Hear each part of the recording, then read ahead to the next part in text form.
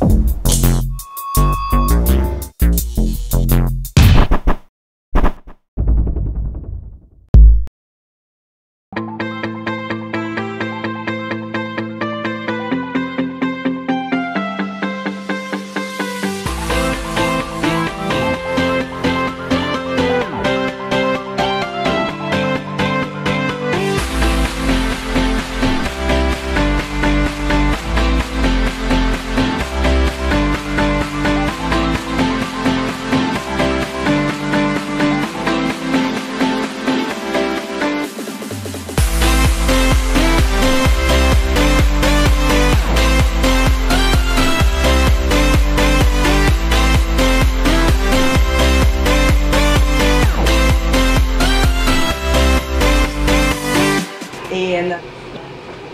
azt gondoltam, hogy az lesz a legjobb, hogyha már pohárral a kezünkben kezdünk el beszélgetni, mert akkor rögtön megalapozzuk a hangulatot, mindenki vidám lesz, és mindenki bátorságot merít ahhoz, hogy mi több dolgot eláruljon, és szuper jó dolgokat meséljen nekünk. De hogy ezt lehet még fokozni, azt gondolom, ezért arra szeretném kérni Eperjes Jerikát és partnerét, a Miskolci Nemzeti Színház művésznőjét és partnerét, hogy fáradjanak ide ki a mi adhok színpadunkra, dallal vezessük fel ezt a mai alkalmat.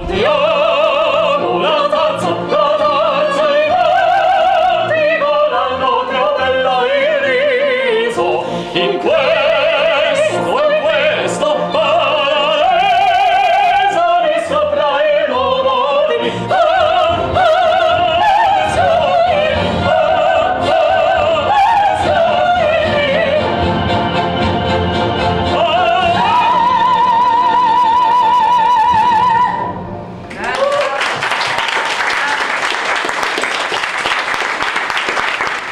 est vendégem Krisztavok Zoltán, aki a Kreinbacher birtok kereskedelmi és marketing vezetője, mert hogy azt a pesgőt, amit önök kóstoltak már most bevezetőben és a, a poharaikban tartanak, az ő hozta ide nekünk, és most fog erről azt gondolom, hogy sok izgalmasat beszélni, illetve bevezetésképpen egy pici pesgő történetet szeretnék tőle kérni, mert hogyha jól tudom, akkor ő ráadásul történész is, nem csak 20 éve pesgővel foglalkozó szakember. Volt egy kérés, és természetesen ez mindig elő szokott jönni, hogy jött valaki, és azt mondta, hogy édes szeretne.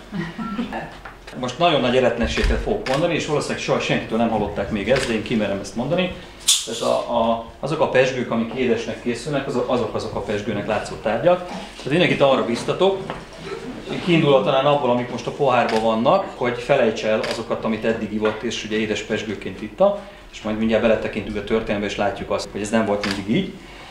Szóval nem kell édes pesgőt fogyasztani, sőt a, a, a pesgő az eredendően száraz. Amikor megízleljük a pesgőt, akkor a, a ízlelő bimbóinkkal a, a ízét érezzük, de nem csak ez játszik szerepet, hanem ugye a felszabaduló buborékok nem csak a széndiokszidot hozzák ki ebből a pesgőből, hanem ezekben az apró buborékokban a benne lévő nagyon finom illatanyagok is szerepet játszanak, hogy távoznak, és ugye a számunkhoz emeljük a, a poharat, akkor az orrunk is közel van, és a ornyák, a hátján, a széndiokszid, az egy enyhe csípős érzést okoz, és az illatanyagok pedig, mivel ugye egy felfokozott, így a ízeket is egy kicsit sokkal jobban érezzük. Egy normál boros palack az olyan 30 és 40 g között van, ez olyan 90 g, de erre szükség is van, mert szü- szükség van a nyomásállóságra, mert hadbár nyomás könnyedén előfordulhat.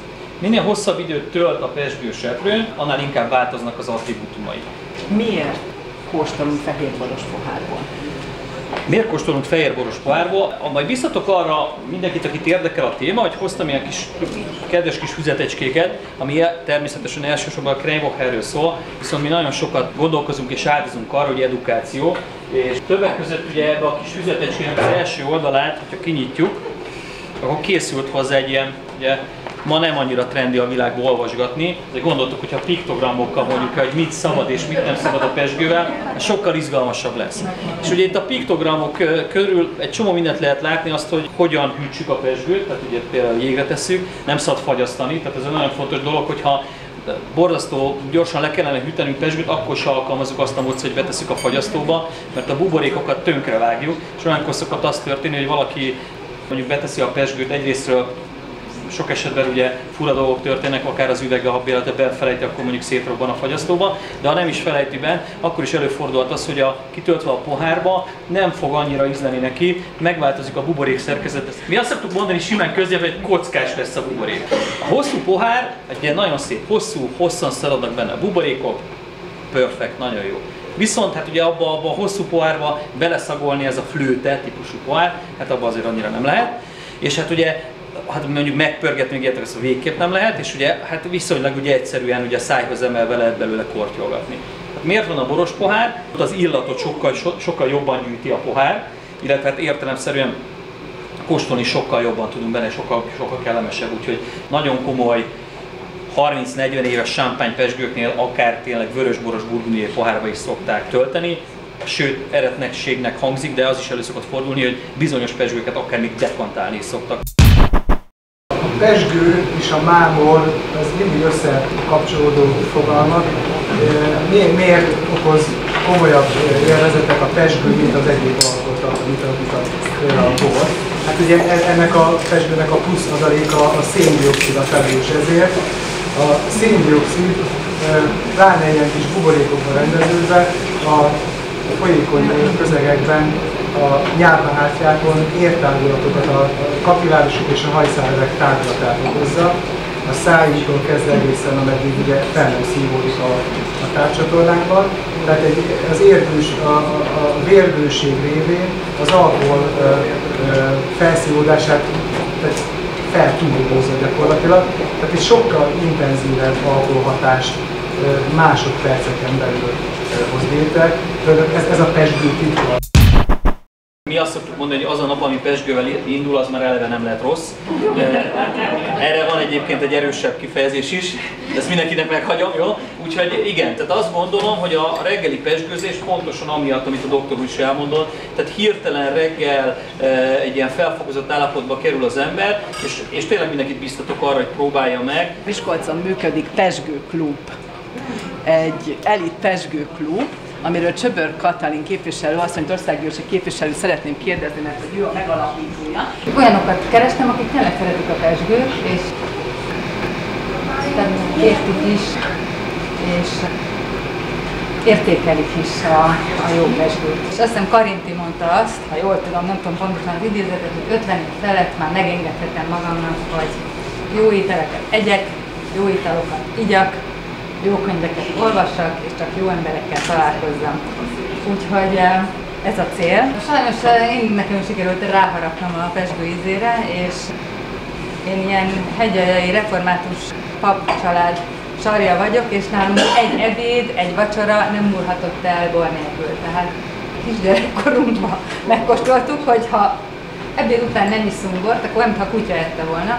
Tehát vízzel nem öblítjük.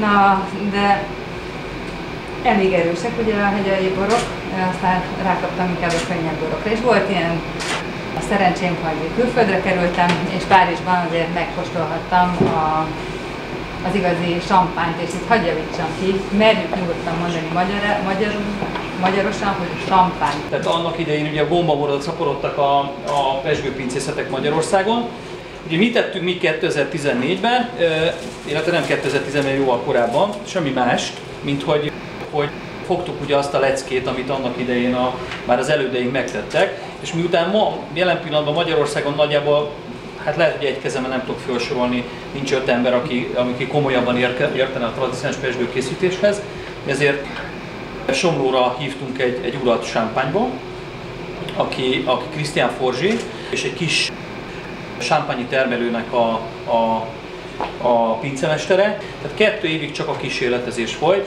és próbáltuk megtalálni azt a fajtát, ami ott Somlón a legjobban működik ahhoz, hogy, hogy ilyen pesgőket tudjunk készíteni. Az édes pesgő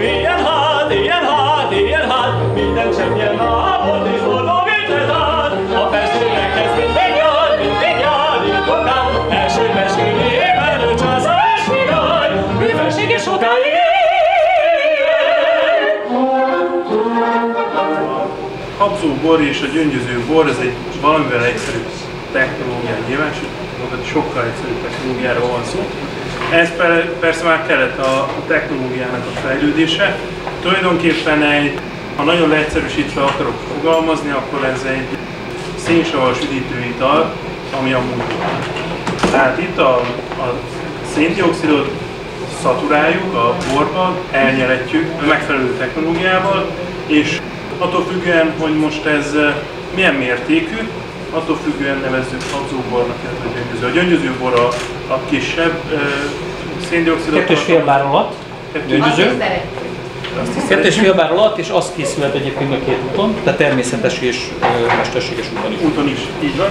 A, amit én hoztam, ez a, a gyöngyöző kategóriába e, tartozik, és tulajdonképpen ez egy, ez egy szaturálással készített egyszerű borocskáról van szó. Ez a, szokták mondani, hogy keressük meg mi a jó bor, meg mi a nem jó bor, vagy tőlünk is azt szokták kérdezni, hogy mi a jó bor, borászoknak a legjobb bor az a bor, amit már kifizettek. Lehet itt marketinget építeni, és lehet nagyon sok mindenről beszélni. A legfontosabb az, ami a poharunkban van. Tehát, hogy ha, ha, ha úgy érzik, hogy a, a, az, ami benne van a pohárban, akkor az rendben van. Tehát erre szoktuk mi azt mondani, hogy kétfajta bor van, a jó meg a rossz, mert ugye milyen anekdóták már elhangzottak. Tehát ha ezt jónak ítélik meg, akkor, akkor, akkor, akkor valahol otthon vagyunk. Ja, ha alapvetően pesgőre gondolunk, mindenkinek az jut eszébe, hogy 6-8 fok, hogy akkor azon a hőmérsékletet kell fogyasztani. Igen, ha ez tartályos erjesztésű vagy valami egyszerű pesgő, ha tradicionális pesgőről beszélünk, akkor mi azt mondjuk, hogy 8 fok, amikor szervírozzuk, mert hogy a poharak melegek, és amikor beleöntjük, borzasztó gyorsan fog melegedni. Megmutatom a hölgyeknek azt, hogy, hogy ne ijedjenek meg a pesgős palasztól, mert hogy nem bánt, és hogyha jó a technika, akkor nagyon egyszerű egyébként kibontani.